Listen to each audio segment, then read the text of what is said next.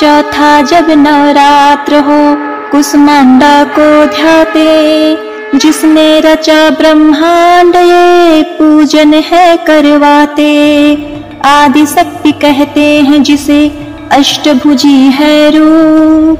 इस शक्ति के तेज से कहीं छाव, कहीं धूप। या देवी सर्वभूतेषु कुष्माण्डा रूपेण संस्थिता। नमस्तस्ते नमस्तस्ते नमस्तस्ते, नमो नमः। जय माता दी ओम नमः शिवाय। प्रिय भक्तगणों, आज अश्विन माह, शुक्ल पक्ष की चतुर्थी तिथि है। आज का दिन सौर मंडल की अधिष्ठात्री, माता कुष्मांडा को समर्पित है। आज के दिन स्वच्छ मन से, माता कुष्मांडा की कथा का श्रवण करने से रोग शोक नष्ट हो जाते हैं। यश बल, सुख समृद्धि की प्राप्ति होती है। मन, कर्म वचन में पवित्रता आती है। ये देवी थोड़े सेवा और भक्ति से ही भक्तों पर प्रसन्न हो जाती हैं। अपनी मंद, हल्की हँसी के साथ अन्न यानी ब्रह्मांड को उत्पन्न करने के कारण इस देवी को कुसमांडा नाम से अभिहित किया गया है। इन्हें अष्टभुजा भी कहते हैं। ये सूर्य लोक में निवास करती हैं तथा इन्हीं के प्रकाश से सूर्य प्रकाश मान रहते हैं।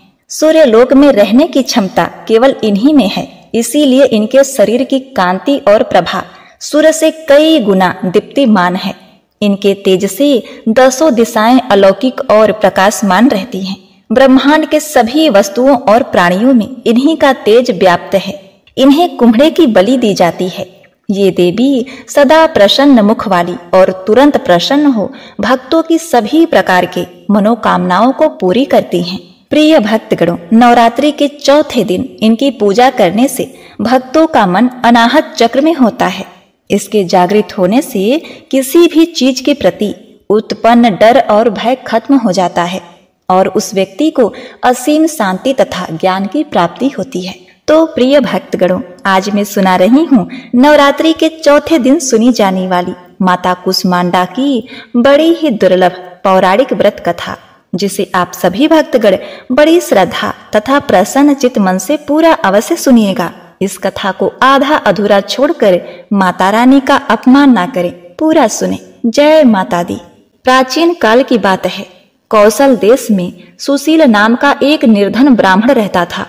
प्रतिदिन मिलने वाली भिक्षा से वह अपने परिवार का भरण पोषण करता था। उसके कई बच्चे थे।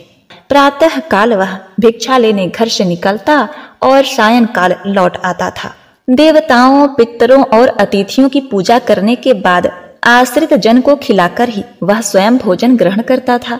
इस प्रकार भिक्षा को वह भगवान का प्रसाद समझकर स्वीकार करता था।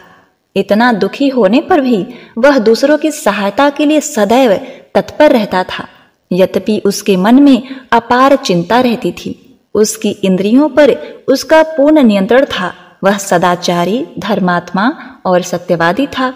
उसके हृदय में कभी क्रोध, अहंकार और ईर्ष्या जैसे तुच्छ विकार उत्पन्न नहीं होते थे। ऐसे ही एक बार की बात है।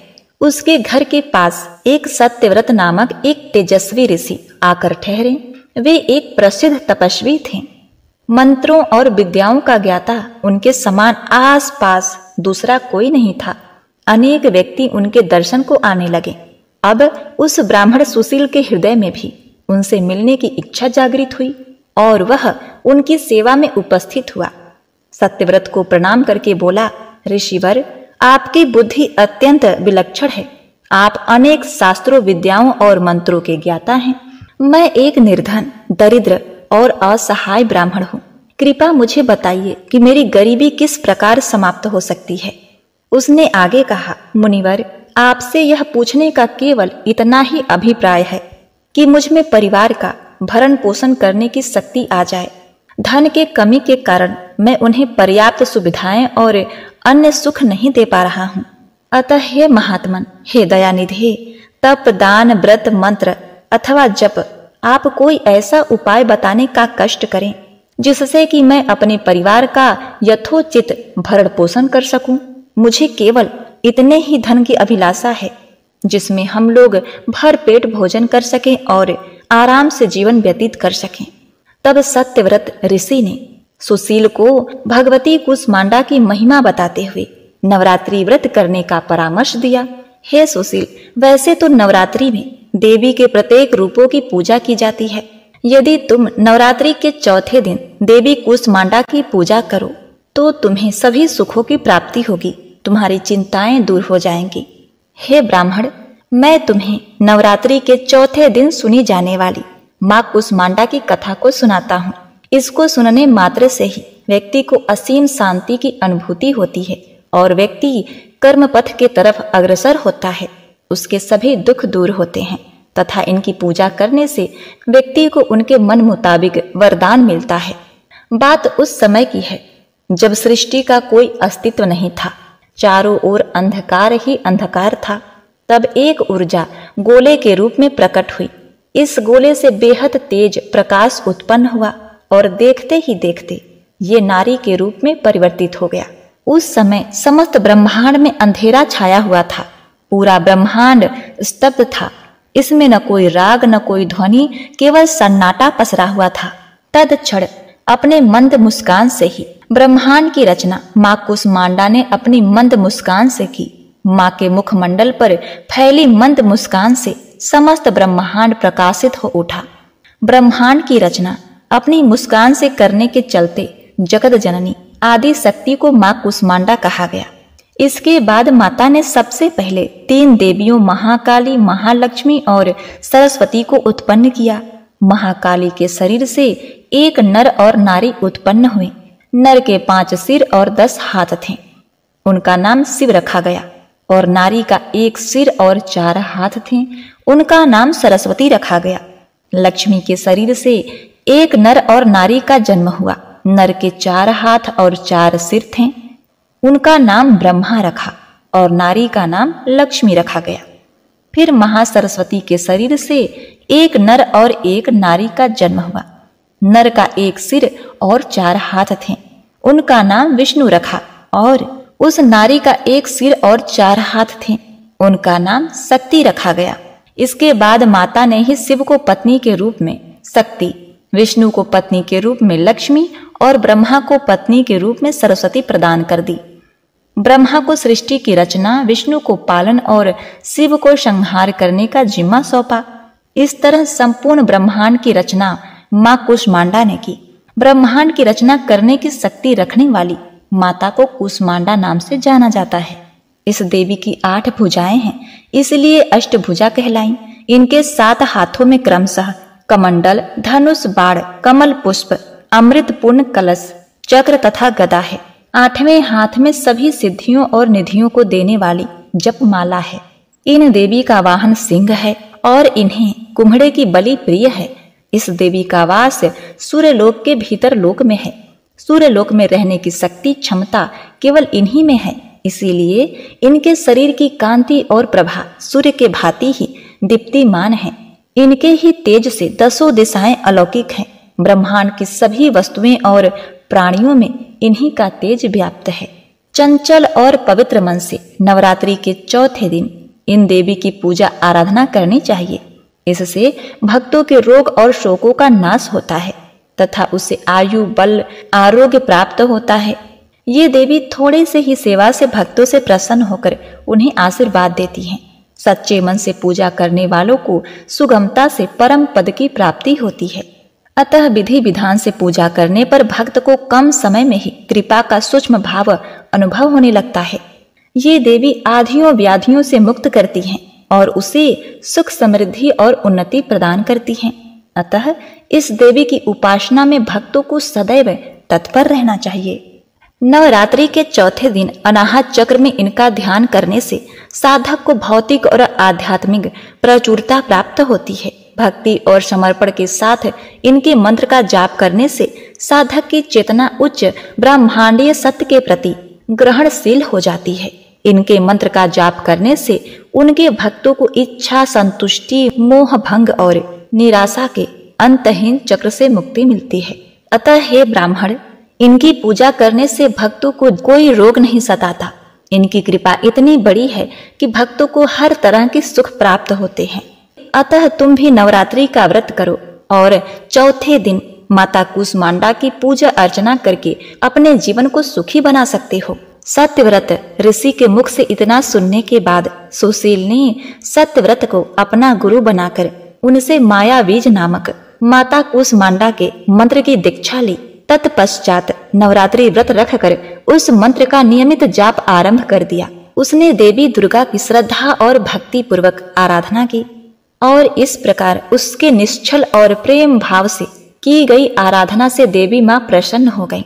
सुशील की भक्ति से प्रसन्न होकर देवी माँ ने उसे नवरात्रि के अंतिम दिन साक्षात उसके समक्ष प्रकट हो गई और सुशील को उसका अभिष्ट वर प्रदान करते हुए उसे संसार का समस्त वैभव, ऐश्वर्य और मोक्ष प्रदान किया।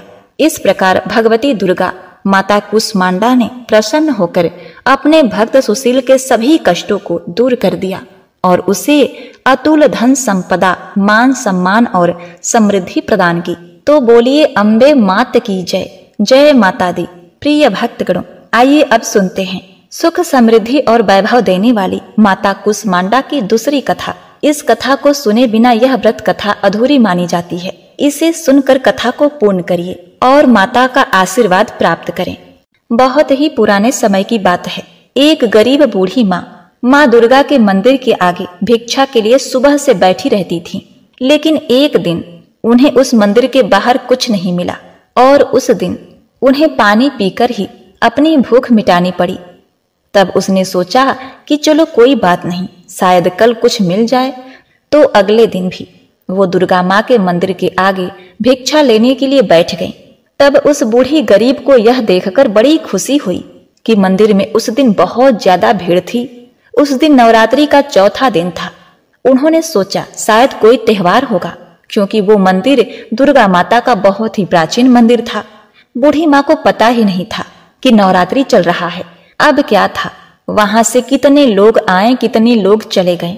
लेकिन उस बूढ़ी गरीब को किसी ने भी कुछ प्रिय भक्तगणों इस जगह को उस मंदिर करने के के आगे आप सुनेंगे। आटा चावल पैसा सब कुछ दे रहे थे।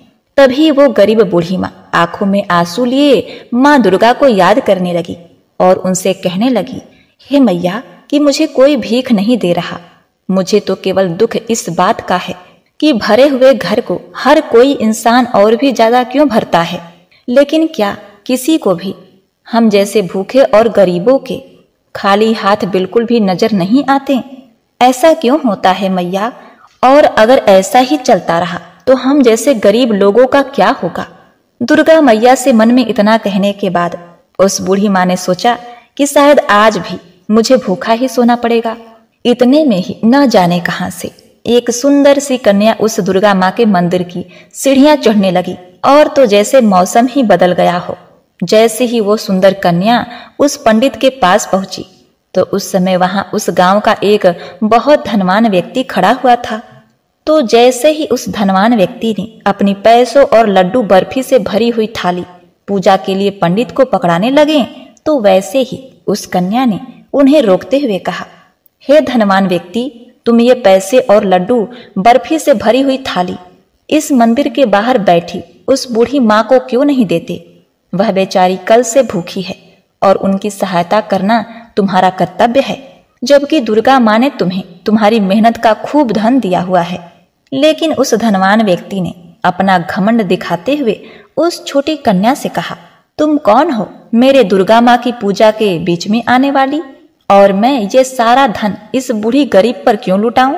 तब उस कन्या ने उस धनवान व्यक्ति को दोबारा कहा, हे धनवान व्यक्ति, मान जाओ, ये पैसों की थाली तो तुम्हें उस बूढ़ी गरीब को ही देनी होगी। लेकिन उस धनवान व्यक्ति ने उस सुंदर कन्या की बात न मानकर वो पैसों की थाली उस पंडित को जैसे ही पकड़ाने लगा, वैसे ही उस कन्या ने ज़ोर से धरती पर अपना पैर मारा तो जैसे पूरी धरती ही हिलने लगी। और अचानक वो धनवान व्यक्ति सीढ़ियों से लुढ़कता हुआ उसी बूढ़ी माँ के पैरों में आकर गिरा, जिसे वो धनवान व्यक्ति पैसों की थाली देने से मना कर रहा था। तभी वो धनवान आदमी खड़ा होकर ये सोचने लगा कि ये कैसा चमत्कार था, मैं ऊपर से नीचे कैसे गिरा? और जब उसने ऊपर की तरफ़ देखा तो मंदिर के पास भी कोई नहीं था और वो कन्या भी वहाँ नहीं थी।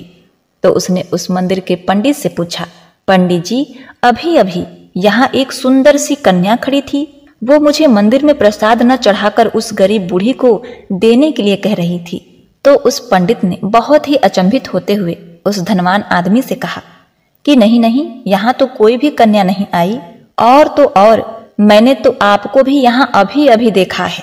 इतना सुनते ही उस धनवान व्यक्ति की आँखों में दुख भरे आँसू आ जाते हैं और वो सब समझ जाता है कि वो कन्या कोई और नहीं बल्कि मेरी दुर्गा माँ थी, मगर मैं उन्हें क्यों नहीं पहचान पाया?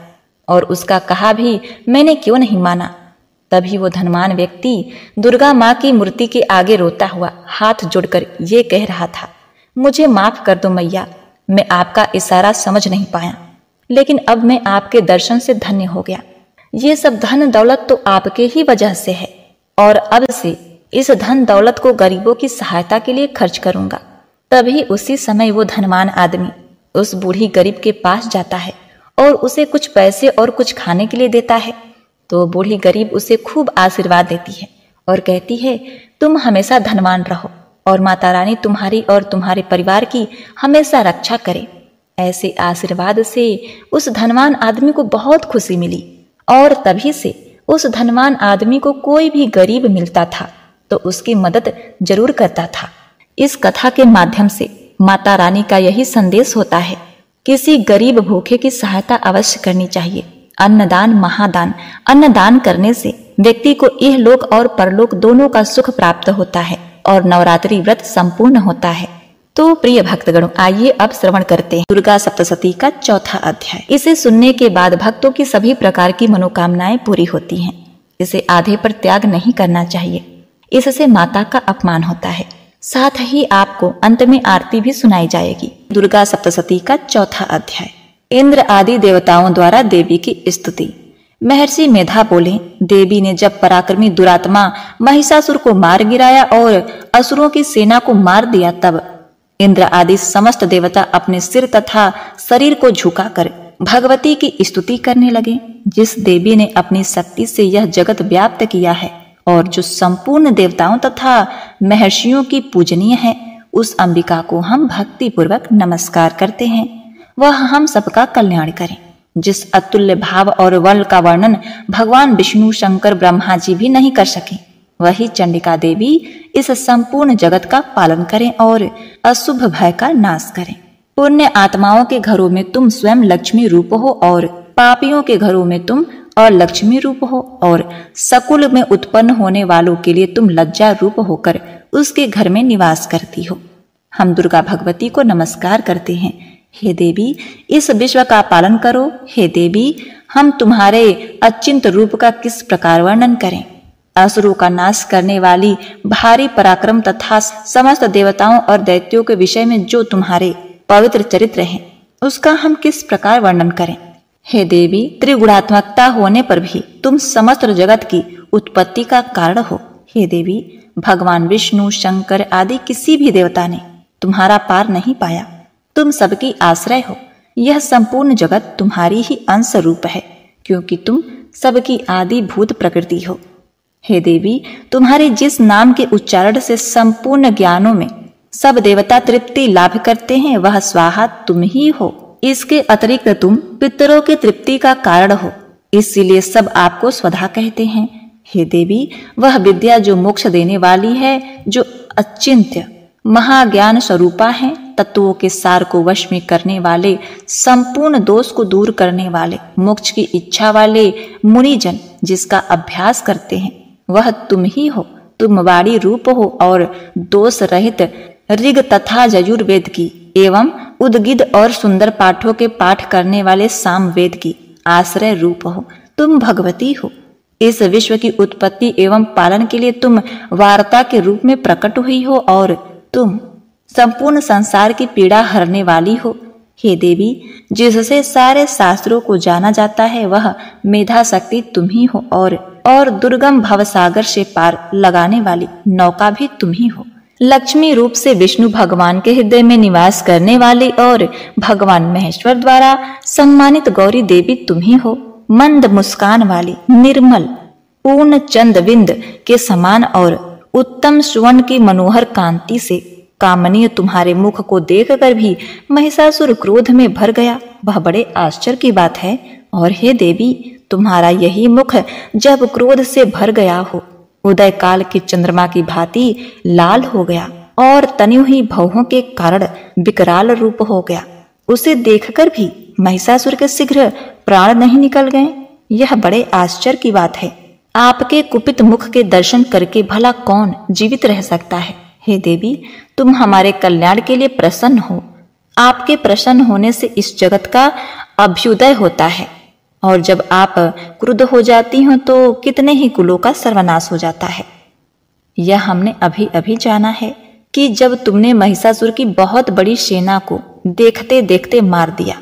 हे देवी, सदा प्रताप देने वाले तुम जिस पर प्रसन्न हो जाती हो, वही देश में सम्मानित होते हैं। उसके धन यश की वृद्धि होती है, उसका धर्म कभी शिथिल नहीं होता और उसके यहाँ अधिक पुत्र पुत्रियाँ और नौकर होते हैं। हे देवी, तुम्हारी कृपा से ही धर्मात्मा पुरुष प्रतिदिन श्रद्धा पूर्वक यज्ञ करते हैं और धर्मानुकूल आचरण करते हैं और उनके प्रभाव से स्वर्गलोक में जाते हैं। क्योंकि तुम तीनों लोकों में मनवांछित फल देने वाली हो। हे माँ दुर्गे, तुम स्मरण करने पर संपूर्ण जीवों के भय नष्ट कर देती हो और स्थिर चित वालों के द्वारा चिंतन करने पर उन्हें और अत्यंत मंगल देती हो। हे दारिद्र दुख नाशनी देवी, तुम्हारे शिवा दूसरा कौन है? तुम्हारा चित सदा दूसरों के उपकार में लगा रहता है। हे देवी, तुम शत्रुओं को इसीलिए मारती हो कि उनके मरने से दूसरों को सुख मिलता है। वह चाहे नरक में जाने के लिए चीरकाल तक पाप करते रहे हों। किंतु तुम्हारे साथ युद्ध करके सीधे स्वर्ग को जाएँ। इसीलिए तुम उनका वध करती हो। हे देवी, क्या तुम दृष्टिपात मात्र से समस्त असुरों को भस्म नहीं कर सकती?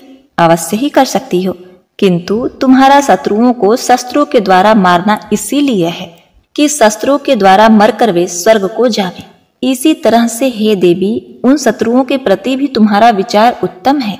हे देवी, तुम्हारे उग्र खड़क की चमक से और त्रिशूल की नोक की कांति की किरणों से असुरों की आँखें फूट नहीं गई। उसका कारण यह था कि वे किरणों से शोभायमान, तुम्हारे चंद्रमा के समान आनंद प्रदान करने वाले सुंदर मुख को देख रहे थे। हे देवी, तुम्हारा सील बुरे वृत्तांत को दूर करने वाला है और सबसे अधिक तुम्हारा रूप है। जो न तो कभी चिंतन में आ सकता है और न ही किसी दूसरों से कभी तुलना ही हो सकती है। तुम्हारा बल व पराक्रम शत्रुओं का नाश करने वाला है। इस तरह तुमने शत्रुओं पर भी दया प्रकट की। हे देवी, तुम्हारे बल की किसके साथ बराबरी की जा सकती है? तथा शत्रुओं को भय देने वाला इतना सुंदर रूप भी और किसका है? हृदय में कृपा और युद्ध में निष्ठुरता, यह दोनों बातें तीनों लोकों में केवल तुम्ही में देखने में आई है। हे माता युद्ध भूमि में शत्रुओं को मारकर तुमने उन्हें स्वर्ग लोक में पहुँचाया है। इस तरह तीनों लोकों की तुमने रक्षा की है, तथा उन उन्मत्त असुरों से जो हमें भय था, उसको भी तुमने दूर किया। तुमको हमारा नमस्कार है। तुम सूल तथा खड़ग से हमारी रक्षा करो, तथा घंटे की ध्वनि और धनुष की टंकार से भी हमारी रक्षा करो। हे चंडिके, आप अपने त्रिशूल को घुमाकर पूर्व पश्चिम, उत्तर तथा दक्षिण दिशा में हमारी रक्षा करो। तीनों लोकों में जो तुम्हारे सौम्य रूप हैं तथा घोर रूप हैं, उनसे हमारी रक्षा करो तथा इस पृथ्वी की रक्षा करो। हे अंबिके, आपके कर पल्लवों में जो खड़ग, शूल और गदा आदि शस्त्र शोभा पा रहे हैं, उनसे हमारी रक्षा करो। महर्षि बोले, इस प्रकार जब सब देवताओं ने जगत माता भगवती की स्तुति की और नंदवन के पुष्पों तथा गंध अनुलेपों द्वारा उनका पूजन किया और फिर सबने मिलकर जब सुगंधित व दिव्य धूपों द्वारा उनको सुगंधित निवेदन की, तब देवी ने प्रसन्न होकर कहा, हे देवताओं, तुम सब मुझसे मनोवांछित वर मांगो। देवता बोले, हे भगवती, तुमने हमारा सब कुछ कार्य कर दिया। अब हमारे लिए कुछ भी मांगना बाकी नहीं रहा, क्योंकि तुमने हमारे शत्रु महिषासुर को मार डाला है। हे महेश्वरी, तुम इस पर भी यदि हमें कोई वरदान देना चाहती हो तो बस इतना वरदान दो। कि जब जब हम आपका स्मरण करें, तब तब आप हमारी विपत्तियों को हरण करने के लिए हमें दर्शन दिया करो। हे अंबिके, जो कोई भी तुम्हारी स्तुति करे, तुम उनको वित्त, समृद्धि और वैभव देने के साथ ही उसके धन और स्त्री आदि संपत्ति बढ़ावे और सदा हम पर प्रसन्न रहे। महर्षि बोले, हे राजन, देवताओं ने जब जगत के लिए तथा अपने लिए इस प्रकार प्रश्न किया तो बस तथास्तु कहकर देवी अंतर ध्यान हो गई। हे भूप, जिस प्रकार तीनों लोगों का हित चाहने वाली यह भगवती देवताओं के शरीर से उत्पन्न हुई थी, वह सारा वृत्तांत मैंने तुमसे कह दिया। न दुर्गे माँ, तेरी आरती गाऊं। न दुर्गे माँ, तेरी आरती गाऊं। अम्बे महारानी, तेरी आरती गाऊं। आरती गाऊं मैया, तुमको मनाऊं। आरती गाऊं मैया, तुमको मनाऊं। अम्बे महारानी, तेरी आरती गाऊं। अम्बे महारानी, तेरी आरती गाऊं। पहली प्रकृति देवी शैलपुत्री दूसरी ब्रह्मचारी जग निर्पात्री देख रूप बलिहारी मैं जाऊं नौ दुर्गे माँ तेरी आरती गाऊं। तीसरी चंद्र घंटा शांतिदायक तीसरी चंद्र घंटा शांतिदायक, चौथी कोस मांडा जग की नायक। माँ के चरणों में शीस नवाऊं, नौ दुर्गे माँ तेरी आरती गाऊं। नौ दुर्गे माँ तेरी आरती गाऊं। माँ भाग्य की दाती पांचवें स्कंद माँ भाग्य की दाती छठी कात्यायनी तुष्टि दाती जोत जलाऊं मैया सुमिरन गाऊं जोत जलाऊं मैया सुमिरन गाऊं नौ दुर्गे माँ तेरी आरती गाऊं। नौ दुर्गे माँ तेरी आरती गाऊं। सातवीं काल रात्रि शुभ फलदायक। सातवीं काल रात्रि शुभ फलदायक। आठवीं महागौरी शक्तिदायक महाशक्ति की महिमा मैं गाऊं। महाशक्ति की महिमा मैं गाऊं। नौ दुर्गे माँ तेरी आरती गाऊं। नौ दुर्गे माँ तेरी आरती गाऊं।